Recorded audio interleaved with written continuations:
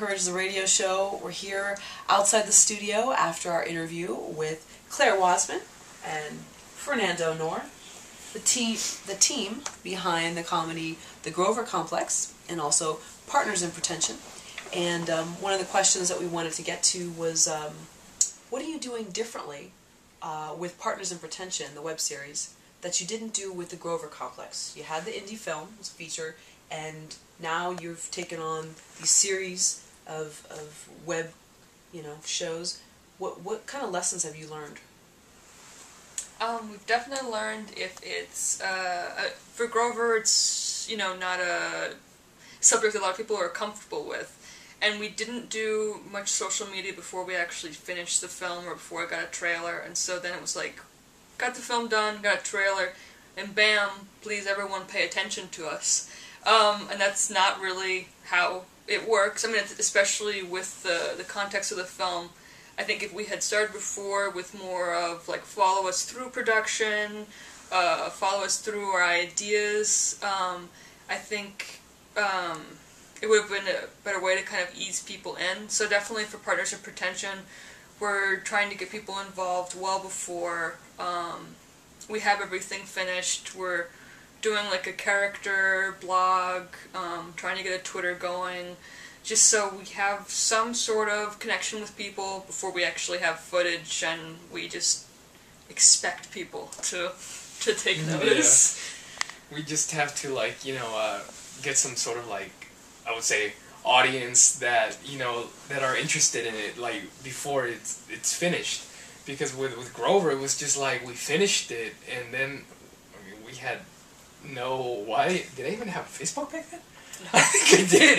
I didn't even have Twitter, so I didn't have any of that stuff. But uh, you know, now with partners, like we have, uh, we have all those accounts where people can like follow us and see the progress we're making. With Grover, we made everything until the movie was done.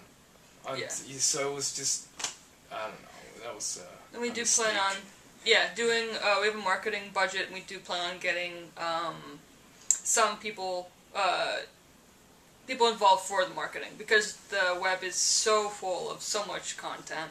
And even if you do get social media going, I mean, what is to make people pay attention to yours over over other ones? So um, we are going to be having people do a, a media strategy for us. Yeah. Otherwise, you know, if it's just supposed to show on the web and you can't get people on the web to to watch, then you've kind of wasted your time.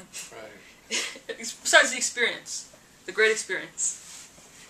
So, what's the reason that you're doing a web series now when you've already done a successful film? What's where's this shift come into play?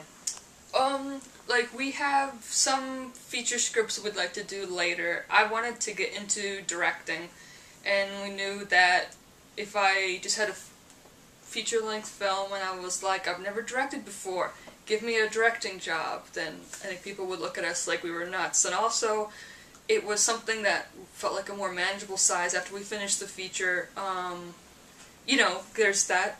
For some people, it's you finish the film, you think everything's gonna be magic, and then it's not immediately magic, and you the mood goes down. So it's like instead of throwing ourselves into another feature film, let's do a web series which is more manageable bites. Um, will kind of flex different muscles and keeping things concise and keep us busy. I think it's important to keep yourself busy. And then also, um, as I mentioned, there's hopefully kind of a tie-in between the two projects. If you like Grover, hopefully you should like aspects of Partners in Pretension. If you like Partners in Pretension, there should be things in the Grover complex that you enjoy. Yeah, I know, definitely. Just getting out of the that depression from the feature, you know. so it's just uh, to keep doing projects and just get more experience. Uh, you know, just just keep adding to our base to our experience basically. And uh, you know, a feature is just so much work and so painful to make because, like like you said, all the the marketing, getting like a crew together for so many days. As with a web series, we can shoot like uh, smaller uh, episodes, you know, 10, 12 minute ones, and uh, you know, it's it's just more experience, adding more, you know, uh, experience. I'll leave it at that. So where does that rebirth come from? When you're in that depression and you're eating junk food and you're watching Access Hollywood for a couple days, where where where do you say, you know what, I'm going to do this again? Okay, and it didn't happen the way I wanted it to turn out, but where does that rebirth occur? Well, uh, well, okay. Well, for me, it's just listening to certain songs or something, or just uh, watching boxing or or any kind of things thing with sports for me because it's just inspirational. You know, it's like you can do it. You know, so anything that it can come from music, movies, sports. Uh, you know, just that drive. You know, uh, I, I don't know. It's just to keep going. Um, it just can come from anywhere. A speaker. yeah, know? inspired by a speaker. I think Yeah. everyone should have a couple books or something that they like, you know, that they can always go to uh, with certain lessons or, or biographies of people they like, just something they can draw on. And then I think we just thought back to how much energy we had during the feature. Like, I it was like working a nine to five, then after that, we'd go to rehearsals or we'd go to pre production planning, but we just had like endless energy. And it's like, we want to get back to that. How do we get back to that? And it's the excitement. So it's like even though you're down, it's like if you can think back to things that made you happy, even though you know, yeah, you're potentially going to head back to feeling down again. Um, but I think that's a mistake a lot of people make, and we had teachers tell us after you make something, have something else ready to go, and we had more big projects ready to go. Um, that we just weren't ready to stomach yet. So I think even if when you get done with a, a feature, if you have a few scenes to shoot, or you have something else you're working on that feels manageable after, you know, putting so much energy into a feature, that's better than just waiting for something to happen and um, just have little activities. Well, I mean, for me, after uh, just finishing the feature and having projects going uh, simultaneously, I think for a first feature, that is so easy to say, but so hard to do. Because I mean, like you can have. I mean, it's it's. I mean, it would be amazing to have a projects going simultaneously, but you need to focus. If it's your first feature or it's your first project, you gotta have that first project be done right, you know, instead of like focusing on uh, on another project that you might be directing or anything. I mean, if it's your first project, you need to make sure it's nurtured. eh, yeah. I mean, it's you need to make sure that you do the do it right, do do the do a good job on it, you know. So I I mean, it just I mean, yeah, like teachers did say like to have other projects going, but I mean, it's so easy to say, but it's so hard to do, Yeah. especially when you're like uh, when you have two producers on, on, on the project and you have no marketing strategy or no assistants or none of that stuff. How are you gonna have another project going when you don't even have like any marketing for this other one or any post-production experience? You're like basically learning on the job you know? So hey if, it, if other people could do it that's cool but for a first feature i just find it so it's so hard you know And lastly, how do you plan on releasing the web series Partners in Pretension?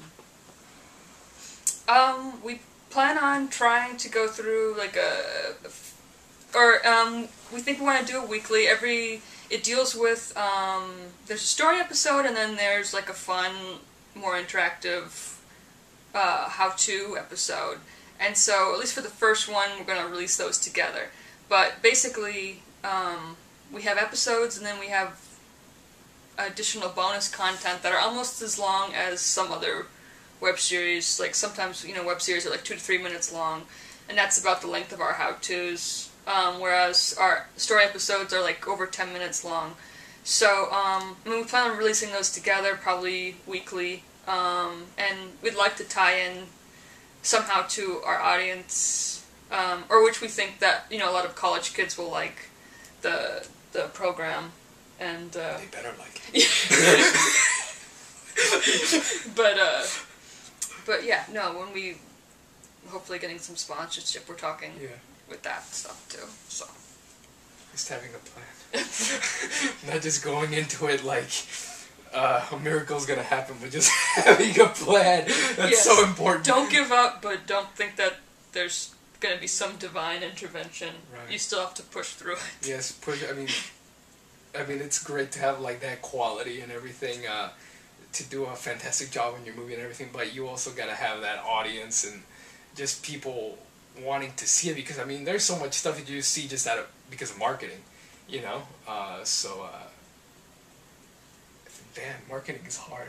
Yeah. I, I, I you talk about marketing. I mean, if you don't know, I mean, I think it's also, it's a learning process. Yeah. If you don't know something, if you don't think you have a handle on it, then that's when I think you do get somebody else involved. Like Yeah. we we've done most things ourselves, but then we try to admit, or at least be conscious of when yeah, maybe this is not thing. our best area. and So then we that's why for the feature we've given it off to, you know, a sales rep because um, in terms of us handling it ourselves, I think it would take longer and we Yeah. might might get severely taken advantage. of. We've sent too many DVDs out with no response that we just like, you know what, like, this is an aspect that we don't really know much about that we need somebody to uh, help us out with, you know. so yeah, so we will be having someone manage that for us Yeah. for the web series.